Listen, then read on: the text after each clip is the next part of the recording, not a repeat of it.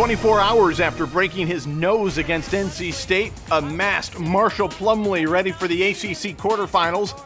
Duke trails Notre Dame by five in the first until Grayson Allen cuts it closer. He explodes for 18 and a half.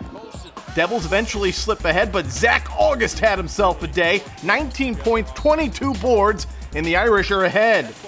Duke scores 13 and a half, final 17 points though. Allen puts the Devils up five. This'll cap off a 13 0 run. Chase Jeter cleans up the mess and one. It's 45 37 at the half. This thing appeared over midway through the second. When Matt Jones hits, Duke goes up by 16.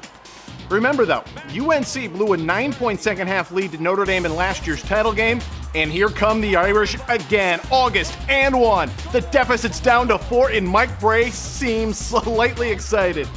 2.35 to go. VJ Beachem. Boom, Notre Dame leads. How's Duke respond? With this just moments later, Brandon Ingram, and Duke goes back in front by two. Then it's three until Beachem hits again. What a game! We're tied at 70. Duke can win it right here on their final possession. Luke Kennard, the runner, doesn't fall, so they go to overtime. In the extra period, who are they going to give it to? The Irish? How about Beachem? Good idea. He had 19, and the Irish lead by five. A couple minutes later, Steve Vasturia makes it five again, and that's all she wrote. Notre Dame comes from 16 down to stun Duke. 84 79 is your final in overtime. So the Irish are moving on to the semis.